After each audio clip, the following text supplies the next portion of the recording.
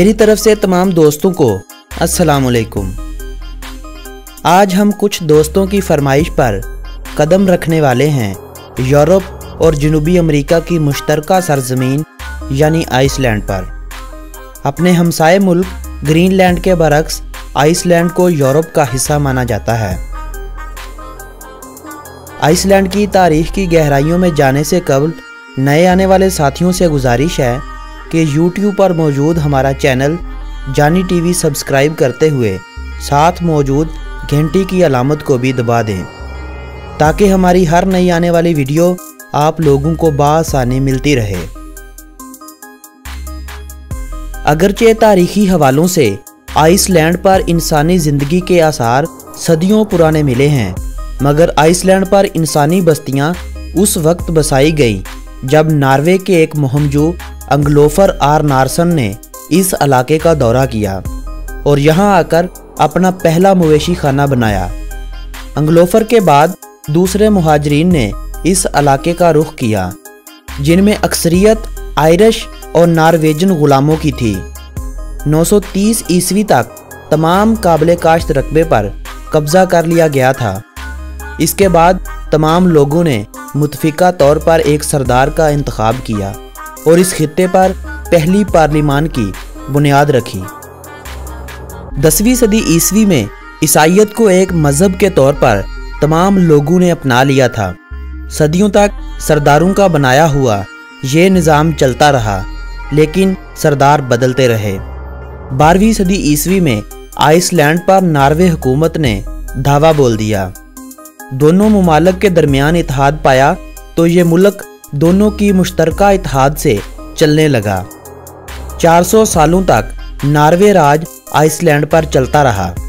लेकिन सोलह में डेनमार्क, जो पहले आइसलैंड के कुछ इलाकों तक हिस्सेदार था, मुकम्मल हिस्सेदार बन गया। हुकूमत दोनों ममालक की मुश्तरका चलने लगी। 1814 में नपोलियन जंगों के बाद नार्वे और डेनमार्क कील के मुआहदे के बाद दो अलग अलग मुल्क करार पाए, लेकिन आइसलैंड डेनमार्क के कब्जे में चला गया। जब लोगों के अंदर आज़ादी की तड़प पैदा होने लगी तो लोगों ने अपने हक के लिए आवाज़ उठाना शुरू कर दी। लोगों को उनकी मेहनत का फल 1874 में उस वक्त मिला, जब डेनमार्क हुकूमत ने आइसलैंड को इलाकाई खुद मुख्तारी दे दी। इस खुद मुख्तारी को 1904 में मजीद वसी किया गया। यकम दिसंबर 1918 को होने वाले एक मुआहदे के बाद, आइसलैंड को डेनमार्क के बादशाह के मातहत एक मुकम्मल और खुद मुख्तार रियासत का दर्जा मिला। 19वीं सदी में मुल्क के हालात कशीदा होना शुरू हो गए। मुल्क की बेशतर आबादी ने जनूबी अमेरिका की तरफ़ हिजरत करना शुरू कर दी। इसी दौरान जॉन सैग्रोसोन की एक नई आज़ादी की तहरीक ने जन्म लिया। जो यूरोप के रोमानवी और कौमी नज़रियात से मुतासर थी। दूसरी जंग अजीम के दौरान 9 अप्रैल 1940 को जब जर्मनी ने डेनमार्क पर कब्ज़ा किया तो डेनमार्क और आइसलैंड के ताल्लुकात कशीदा हो गए। दूसरी जंग अजीम से पहले सिर्फ़ बादशाहत ही डेनमार्क के पास थी, बाकी मुल्क तो पहले ही आज़ाद हो चुका था। डेनमार्क, जो खुद जंग के हालात से गुजर रहा था तो आइसलैंड को 17 जून 1944 को रस्मी तौर पर आज़ाद जमहूरिया बना दिया गया और आइसलैंड का नया नाम जमहूरिया आइसलैंड हो चुका था। 1940 में काबज फौज का इनखला अमल में आया। अंदरून मुल्क मुखालफत और बगावतों के बावजूद 30 मार्च उन्नीस सौ उनचास को आइसलैंड नेटो का रुकन बन चुका था। 5 मई उन्नीस सौ इक्यावन को अमेरिका और आइसलैंड का दफाई मुआहदा अमल में आया, जिसके नतीजे में अमरीकी अफवाज वापस आई और सर्द जंग के दिनों में मुआहदे के मुताबिक दफ़ा के फ़राइज सर अंजाम देती रहीं। सर्द जंग के दिनों में बरतानिया और आइसलैंड के दरमियान माहीगिरी के लिए समुद्री हदूद पर शदीद इख्तलाफात थे। उन्नीस सौ चौरानवे में आइसलैंड के यूरोपी मुआशी इलाके में शमूलियत के बाद मीशत ने बहुत गहराई और आज़ादी हासिल की। जंग के फ़ौर बाद मुआशी तरक्की वाक़ हुई जिसने माहीगिरी को सनत का दर्जा दिया। 20वीं सदी से कबल तक आइसलैंड की मीशत और बहबूद का निज़ाम बहुत तेज़ी से परवान चढ़ा। आज आइसलैंड दुनिया के तरक्की याफ्ता ममालक में शुमार होता है। वर्ल्ड बैंक की 2016 की शाया करदा रिपोर्ट के मुताबिक, इक्यावन हज़ार तीन सौ निन्यानवे अमरीकी डॉलर के साथ फीकस मजमू आमदनी के हवाले से दुनिया भर में ग्यारहवें नंबर पर शुमार होता है। क्या ही अच्छा होता अगर पाकिस्तान के हुक्मरान भी पाकिस्तान को अपनी सरजमीन ही समझते तो आज पाकिस्तान का ये हाल ना होता। आइसलैंड के बारे में अगर दिलचस्प हकाइक की बात की जाए तो आइसलैंड एक लाख तीन हज़ार मरबा किलोमीटर रकबे के साथ दुनिया भर में 107वें नंबर पर शुमार होता है। आबादी के हवाले से यह मुल्क तीन लाख तैंतीस हज़ार अफराद की आबादी के साथ दुनिया भर में 180वें नंबर पर शुमार होता है। शुमाल मगरबी यूरोप में वाक़ इस मुल्क की सरहदें, समुंदर के पानियों के अलावा किसी भी मुल्क से बराह रास्त नहीं लगती। मशरक की जानब एक हज़ार एक किलोमीटर की दूरी पर नार्वे है, जबकि मगरब की तरफ़ ग्रीनलैंड मौजूद है, जिसकी आइसलैंड से दूरी 301 किलोमीटर की है। आइसलैंड को चारों तरफ़ से बहरा ओकियानूस ने घेरा डाला हुआ है। रिकाविक मुल्क का दारुल हुकूमत है, दो सौ चौहत्तर अशारिया पाँच मरबा किलोमीटर रकबे पर फैला हुआ, ये शहर आइसलैंड का सबसे कदीम और सबसे बड़ा शहर होने का एजाज़ रखता है। मुल्क की मीशत में इस शहर का बड़ा अहम किरदार है और मुल्क की तकरीबन एक तहाई आबादी भी इसी शहर में रहाइश पजीर है। आइसलैंड दुनिया का अठारवा जबकि बरतानिया के बाद यूरोप का दूसरा बड़ा जजीरा है। मुल्क का तकरीबन 11 फ़ीसद हिस्सा ग्लेशियर से ढका हुआ है। बुलंद पहाड़ी इलाके शदीद सर्द होने की वजह से रहाइश के काबल नहीं है। ज़्यादातर आबादी साहिलों के करीब बसे हुए शहरों में रहाइश पजीर है। इंसानी आबादकारियों से कबल इस जजीरे का 40 फ़ीसद से ज़्यादा हिस्सा जंगलात से ढका हुआ था, मगर इंसानों ने दरख्तों को काट काट कर अपनी ज़रूरियात के मुताबिक रकबे को काश्त के काबल बनाया। बीसवीं सदी के आगाज़ से पहले ही जंगलात तकरीबन नापैद हो चुके थे। अब दोबारा शजरकारी की तो जाती है, मगर वो मज़ा कहाँ जो मेरे परवरदिगार के दिए हुए कुदरती हुसन से था। चूँकि आइसलैंड यूरोपीय यूनियन का रुकन नहीं है, इसीलिए यूरो आइसलैंड की करेंसी भी नहीं है। मगर आइसलैंड के काफ़ी बड़े स्टोर्स पर यूरो से ख़रीदारी की जा सकती है।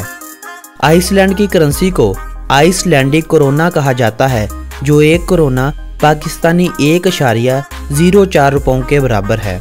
यानी इसका पाकिस्तान से कोई ज़्यादा फ़र्क नहीं है। वक्त के लिहाज से आइसलैंड पाकिस्तान से पाँच घंटे पीछे है। आइसलैंड में अगर आपको किसी से बात करनी है तो आपको उसके नंबर से पहले आइसलैंड का कॉलिंग कोड प्लस तीन लगाना पड़ेगा। इलाकाई तकसीम के लिहाज से, मार्च 2003 के आइन के मुताबिक छः मुख्तलिफ़ इंतज़ामी इलाकों में तकसीम किया गया है। इन छः इलाकों को मजीद हिस्सों में तकसीम किया गया है। आइसलैंड में 29 म्यूनसिपाल्टियाँ हैं, जो अपने मुकामी अमूर जैसा के स्कूल ज़राए नकलो हमल को संभालते हैं। इसके अलावा 26 मजिस्ट्रेटों में भी तकसीम किया गया है, जिनकी जुम्मेदारी में पुलिस की देखभाल, टैक्स वसूली और बैंक दिवालिया होने के मुतालिक फैसले और शादियों को अंजाम देने जैसे अमूर शामिल हैं। आइसलैंड में तकरीबन तेईस हज़ार आठ सौ पाँच दरख्त हैं, दो हज़ार सात सौ सतावन झीलें ग्यारह हज़ार नौ सौ बाईस मरबा किलोमीटर पर, ग्लेशियर्स और चौंसठ पाँच सौ अड़तीस मरबा किलोमीटर रकबा नाकाबले काश्त है। इन सब के अलावा बेशुमार गर्म पानी के चश्मे भी पाए जाते हैं। आइसलैंड में दुनिया का सबसे कम उम्र जजीरा भी मौजूद है, जो 5 नवंबर उन्नीस से 5 जून 1968 तक होने वाली आतश फशानी तहारीक से वजूद में आया था। मुल्क में 20 ऐसी झीलें हैं जो 10 मरबा किलोमीटर रकबे से ज़्यादा रकबे पर फैली हुई हैं। माहीगीरी ही ज़्यादातर लोगों का ज़रिया आमदनी है। मुल्क की 50 फ़ीसद आमदनी भी माहीगीरी से हासिल की जाती है। बैन अवी पाबंदी के बावजूद भी आइसलैंड के बहरी बेड़े वहील मछलियों का शिकार करते रहते हैं।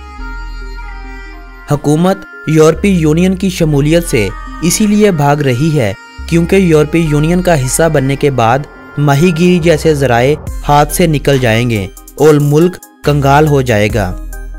अब टेक्नोलॉजी की सनत और सॉफ्टवेयर की तैयारी जैसे शोबे तरक्की पा रहे हैं। Football, track and field, handball और बास्केटबॉल आइसलैंड की मकबूल तरीन खेलों में शामिल है, जबकि गुल्फ, टेनिस, तैराकी, शतरंज और आइसलैंडी घोड़ों पर घुड़सवारी करना भी काफ़ी मकबूल है। आइसलैंड दुनिया के उन चंद ममालक में शुमार होता है, जहाँ पर क़यामत की बड़ी बड़ी निशानियों में से एक निशानी वाज हो चुकी है, यानी हम जिन्स परस्तों का आपस में शादियाँ करना कानूनी करार दिया गया है। 2006 में पार्लिमान के मुतहदा वोटों से इस कानून को मंजूर किया गया था, जिसके तहत हम जिन्स प्रस्त शादी करने वालों को दूसरे जोड़ों की तरह मुकम्मल हकूक हासिल होंगे। सियाहत भी आइसलैंड की मीशत में अहम किरदार अदा करती है। 2016 में 17 लाख बयानवे हज़ार दो सौ एक अफराद ने आइसलैंड की सरजमीन पर अपने कदम रखते हुए मुल्की ख़जाने में 30 फ़ीसद आमदनी का इजाफा किया। मुल्क की ज़्यादातर आबादी ईसाइत के मुख्तलिफ़ फ़िरकों से ताल्लुक़ रखती है, जबकि बुद्धमत के मानने वालों के साथ साथ एक छोटी सी तादाद यहूदियों की भी है। 500 सौ अफराद के करीब मुस्लिम आबादी भी आइसलैंड में अपना वजूद बरकरार रखे हुए है। वक्त की कमी की वजह से आज की इस वीडियो को यहीं पर ख़त्म करते हैं। और मैं आपसे वादा भी करता हूँ कि अगर ज़िंदगी ने साथ दिया तो तमाम ममालक की सैर के बाद आपको हमारा अगला शुरू होने वाला वीडियो सिलसिला, जिसमें हम आपको तमाम ममालक के, वीज़े के हसूल का बताएँगे, आइसलैंड के बारे में रह जाने वाली बातें उस वीडियो में करेंगे। आज की ये वीडियो अगर आप लोगों को पसंद आई हो तो इस वीडियो को अपने अजीज़ो अहबाब के साथ व्हाट्सएप और फेसबुक पर ज़रूर शेयर करें। मेरी हौसला अफजाई के लिए लाइक का बटन भी प्रेस कर दें और अगली वीडियो तक मुझे दे इजाज़त। अल्लाह निगहबान